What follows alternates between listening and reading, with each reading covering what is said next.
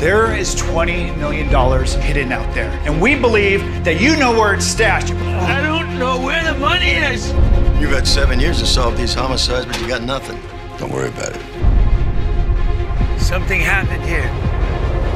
All I see is fragments. Ah! I don't trust this guy. I don't trust him either. You see something? Call me. Who's this? Someone else had to be involved.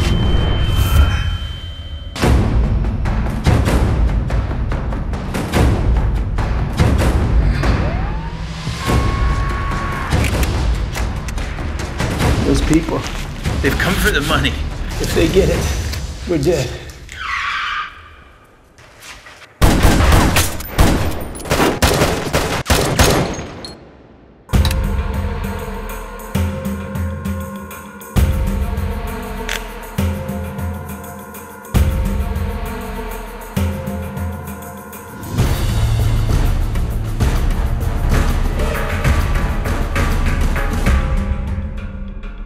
If I have to go to prison, I'd like to know why.